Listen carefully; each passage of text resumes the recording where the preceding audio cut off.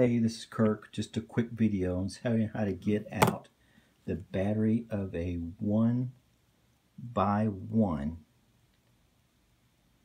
Um, not a very good design. I thought that you could just slide it out this way. But the trick is to get it from right there, that little slot. There is a plastic cover that comes right here. It's clear. Just pop that off and then take a small screwdriver and twist it right here.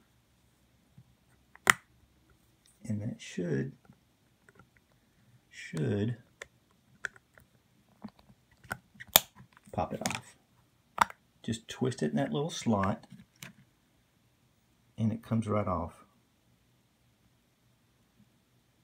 Where is it? And there's the battery inside. And replace that and then snap it back together. That's how you do it. In that little slot right there, twist it to the right or left.